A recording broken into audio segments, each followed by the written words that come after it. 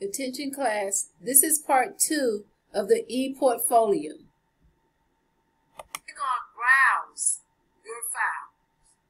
Click on browse because you got to upload your resume. Because I'm not going to go over this again. That's why I'm sharing this with you.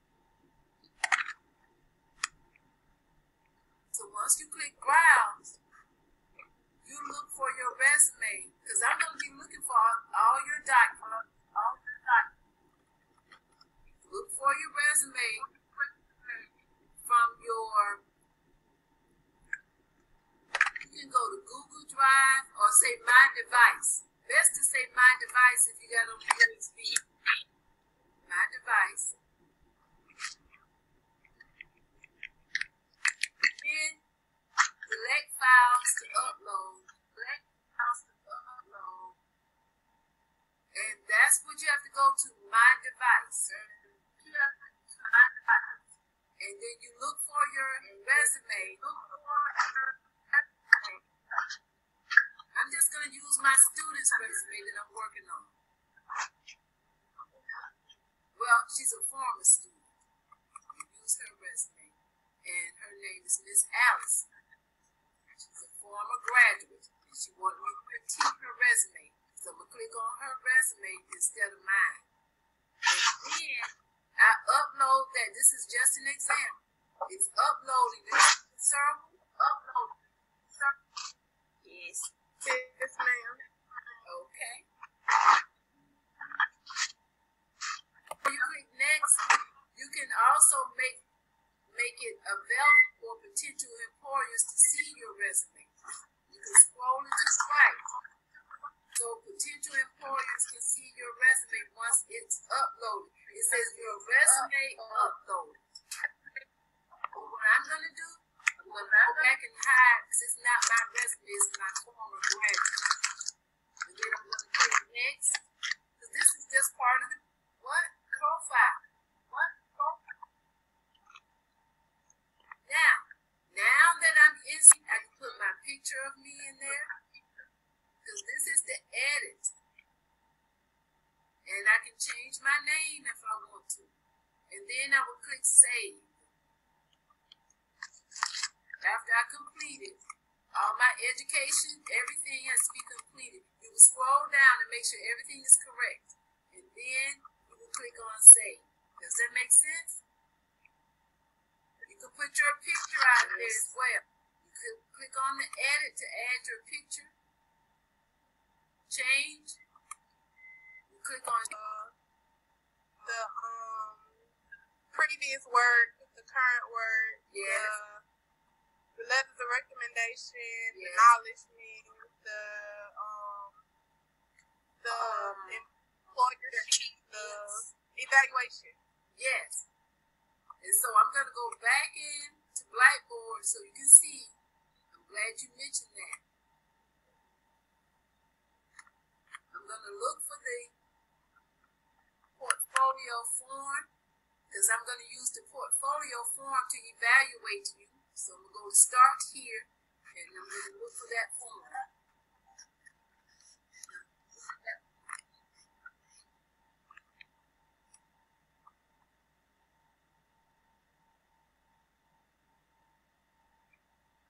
Go ahead.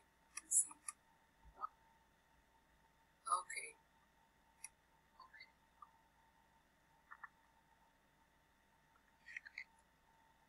Here we go. Portfolio form. I'm going to make sure I email this portfolio form to you all.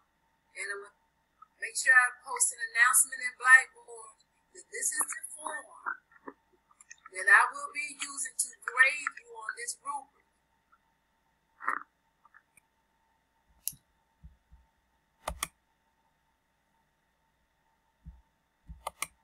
This is the form that I will be evaluating you on. Okay? Your resume, your philosophy needs to be uploaded, your cover letter needs to be uploaded, your career goals, your references. So you have those typed already. So you should upload those documents. Next, you should upload sample work, work taking right now, courses you're taking now. Teacher evaluation. If you don't have a teacher evaluation, you can use an, employee evaluation. For Miss Gandy and um, Miss Morgan, you can use another teacher evaluation. It can be your mentors, but it cannot be me because I am evaluating you. So I cannot type your evaluation for you. It can be a high school teacher evaluation. I think I posted out there the evaluation forms. Did I not? Yes. Okay. Then you have your awards. You take a picture of it if you don't have a scanner. If you got a scanner, you can scan your awards and then upload it as a PDF file. But if you don't, you can take a picture and that's a JPEG file. Graduation application form, um, form that should be out there. If not, I would email. Transcripts, you need to make sure you go to BannerWeb and once you get your transcript, go to your degree works and save it as a PDF. Open up and save it to your your your disk or your your hard drive or your USB. So, uh, any certificates, certifications, and accomplishments, I'm going to look for that. So you want to upload all those documents. This is the grading rubric. I'm going to email to you. Are there any questions? No, ma'am. I'm going to email that and post it in Blackboard. That that's what I'm going to look for.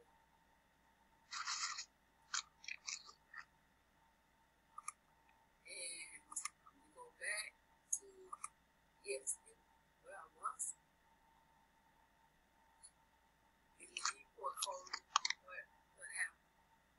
But, that's my email. Here we go. So you will select your files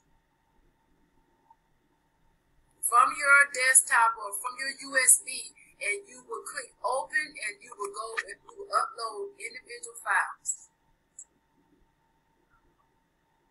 And I will go out there just to see if you have. Any questions? No, ma'am.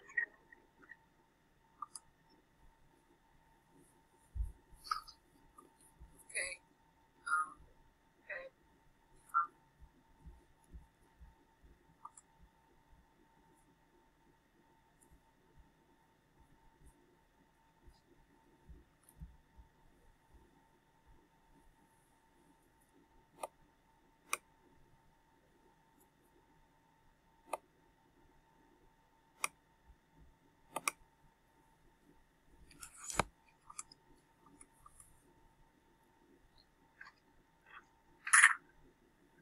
Miss um, Miss Simmons and Miss Benson, you all have any questions?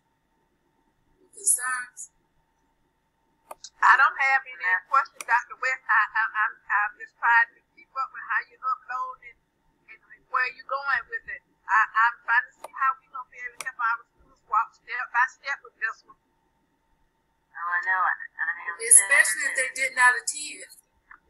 Right. You see where the new project, where you see projects. You see new project? Class? Yes, Uh-huh. ma'am. You will click on new project and upload files from new project. There we go. Type in the project name. This is BUS, this class is BUS 1330. And you can do that. And then for each, and then upload files.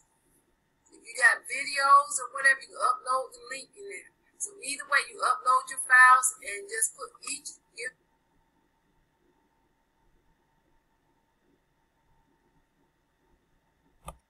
Okay, class, at this part, you will see new project, which was stated um, previously. You will click on new project to add and upload your files. For those who are in BUSN 2210,